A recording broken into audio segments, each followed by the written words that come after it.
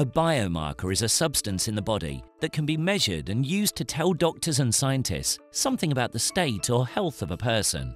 Imagine two individuals. Each will have a slightly different composition of substances in their blood. These substances include proteins or small molecules that circulate around the body.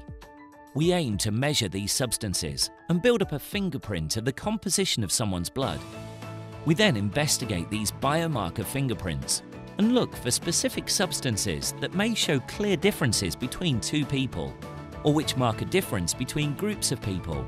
If one of these people is a healthy volunteer and the other a person with a chronic disease, such as diabetes, we will then look to see whether a specific substance is higher or lower in people with disease.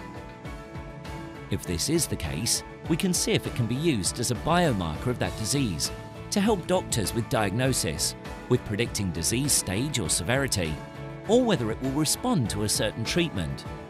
Furthermore, we can look to see whether by bringing the level of this substance back to the healthy patient's level, we can help treat their disease.